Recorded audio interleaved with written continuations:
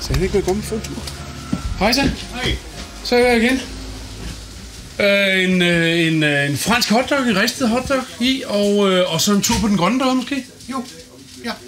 Det kan sagtens gøre.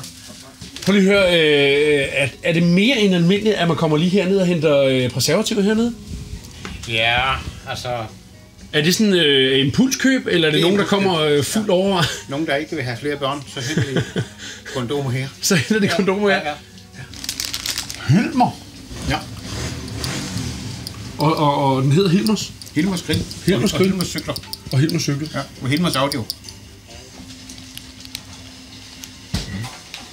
Øh, kunne jeg bede om øh, to almindelige hotdogs? Ja. Og de skal pakke ned. Og han har også preservativer, vidste du det? Nej, det, sådan noget bruger jeg ikke.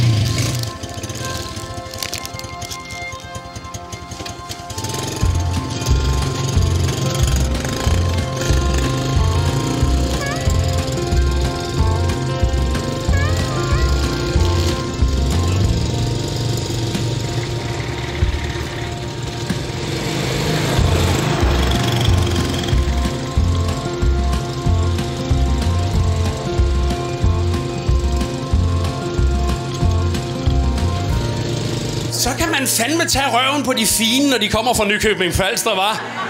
I deres fine Fiat Puntoer, var?